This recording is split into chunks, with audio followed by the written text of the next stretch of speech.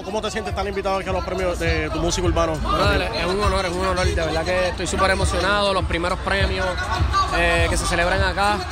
Soy parte de no solamente una nominación, sino de un momento histórico. Estoy bien contento. Gracias a Papito Dios, a todos por el apoyo a la música urbana. ¿Sientes que ya era hora que Puerto Rico hiciera sus propios premios ya? Bueno, esto nació aquí, ¿me entiendes lo que te digo? Tenía que ser aquí siempre. Ya, se tardaron mucho. Mucho Por eso es que estamos bien contentos con lo que está pasando hoy. Es un momento que marca un antes y un después. Y nada, hasta la economía va a subir porque tú sabes que cuando vienen estos premios todo el mundo se tira la tela. Hasta la economía sube con los premios. Duro. ¿Qué viene por ahí? Papi, viene mi disco, todo el mundo pendiente a mi disco, se llama Crack. Crack, crack, crack. Duro. Así que estoy bien emocionado, viene bien fuerte. Estoy loco por enseñárselos, en verdad. Está súper cabrón.